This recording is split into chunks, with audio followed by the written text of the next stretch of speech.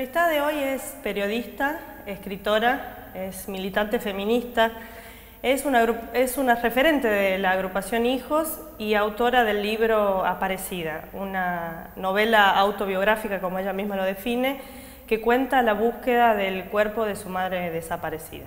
Bienvenida, Marta Dillon. ¿Qué tal? ¿Cómo estás? Quiero sumar que soy integrante del colectivo Ni Una Menos, sobre todo. Este, en Hijos estuve, participé muchísimo tiempo, mi, corazón está con hijos, pero en este momento no estoy militando dentro de la agrupación. Bien, y es importante la referencia porque, bueno, venimos de vivir un hecho histórico, no solo en la Argentina, sino en casi 52 países, en 52 países, y, y bueno, la idea sería preguntarte en primera persona, ¿cómo viviste este 8M, este paro internacional?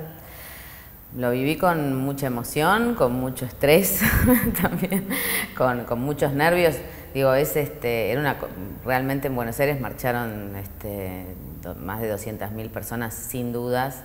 Este, eh, eso implica una enorme responsabilidad para, quienes estuvimos ahí este, tratando de, cuidarnos entre nosotras, de, garantizar que fuera una marcha donde todo el mundo pudiera participar, tanto las, que estábamos organizadas dentro de, nuestras organizaciones sindicales, estudiantiles, políticas, este, feministas, como todas esas mujeres que vienen eh, atraídas, digamos, atraídas, convocadas y comprometidas con, con esta con esto que nosotros llamamos una revolución, ¿no? una revolución que tiene que ver con, nuestras emociones, con nuestras relaciones personales, con nuestras trayectorias vitales y también con las demandas al Estado para que se termine la violencia machista y para que se terminen las inequidades estructurales que sostienen esa violencia machista.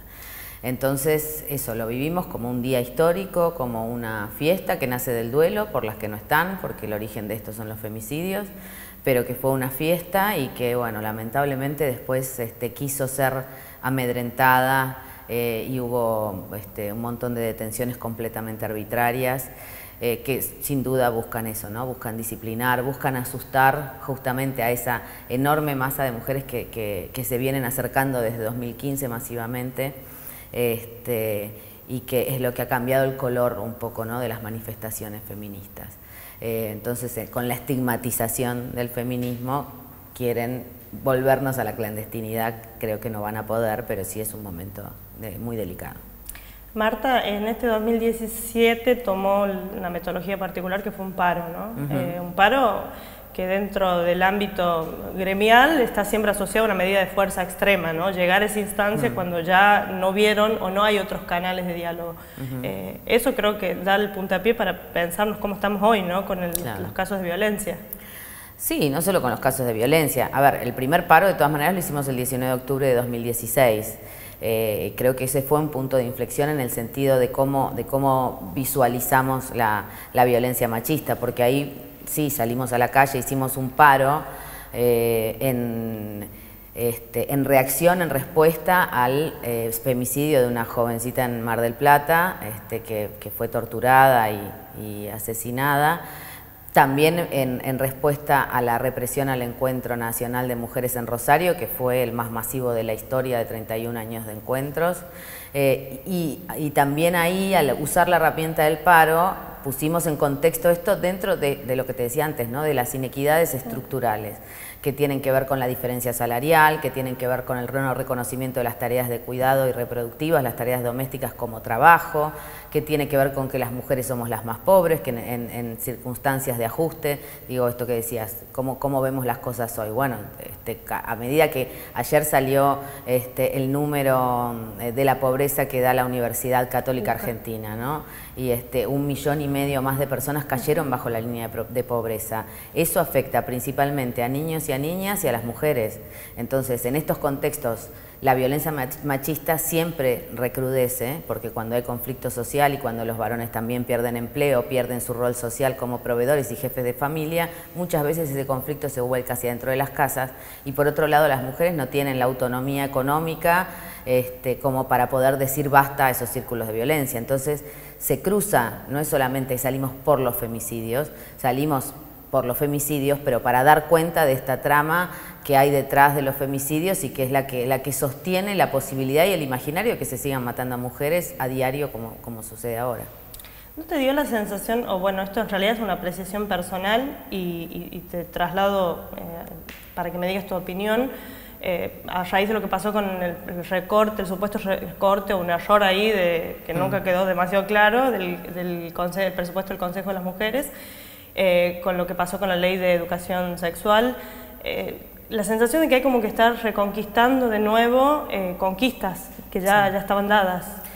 Sí, o sea, no, hay que, hay que estar permanentemente alerta para no perder derechos adquiridos, como vos decís, este, pero sobre todo, em, digamos, hay una, enorme irresponsabilidad del gobierno o una, metodología, ¿no? porque a esta altura ya todos estos este, avances y retrocesos, esto de decir este fue un error, no este, si quieren infalibilidad hubieran ido a buscar otro lado, digo, la verdad, hay una responsabilidad en ser un jefe de Estado hay una enorme responsabilidad, entonces no se puede estar amparando todo el tiempo en el error.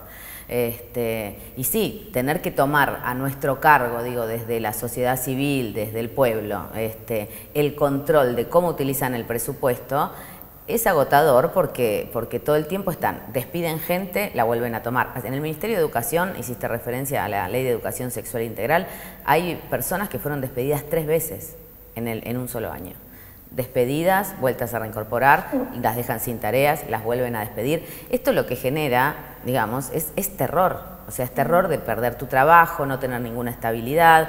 Entonces, al generar este terror, lo que buscan es justamente que la gente no salga a la calle, que la gente no demande por lo que le corresponde. Este, y digo, esto, el presupuesto del Consejo Nacional de las Mujeres. Fue un error, pero hay dos meses donde 67 millones de pesos no estuvieron en ningún lado.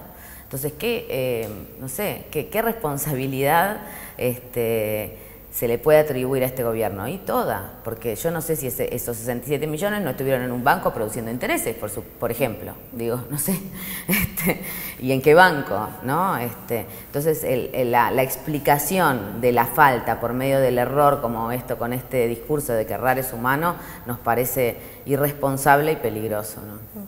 A ver, eh, creo que en el caso del Consejo de la Mujer puntualmente, cuando fue nombrada este, Túñez, sabíamos por ahí de su trabajo, su militancia y de algún modo tuvimos como una luz de esperanza de, saber que llegaba ahí y que podía, digamos, tener una militancia parecida a la que venía haciendo en la Casa del Encuentro. ¿Crees que esto, ahora ya pasando todas las cosas estas que pasaron, lo que mencionamos del Consejo, lo de la, Ley de Educación Sexual Integral, está, hay como una contradicción ya de no se va a poder profundizar, digo? Yo sinceramente lo siento como, como un maquillaje. Lamentablemente, eh, o sea, primero que una mujer sola, digamos, no, no puede revertir todas estas políticas que tienden a achicar el mercado de trabajo, que tienden a achicar el Estado y por lo tanto dejar sin derechos este, a la mayoría de la población. Digo, se recortaron no solamente la educación sexual integral, también el programa de salud sexual y reproductiva, no se entregan medicamentos para el VIH, no tenés preservativos en los hospitales, o sea, hay persecución a las migrantes. Digo, no sé cómo podés pelear contra la violencia machista, que es lo que ella vino a prometer, si por otro lado no hay esto, no hay derechos para las mujeres, o sea, no hay, este, no es que vos este, podés tener mujeres cada vez más pobres, con más responsabilidades familiares, porque hay menos trabajo, tratando de contener a sus hijos en un marco, a sus hijos e hijas en un marco que no les presenta ningún futuro, y decir, bueno, voy a construir refugios para la violencia, para las víctimas de violencia machista. Y es como poner curitas a eh, heridas de bala. Esa es. Lamento la metáfora militar, pero como venimos de una represión, este, tal vez sea eso, ¿no?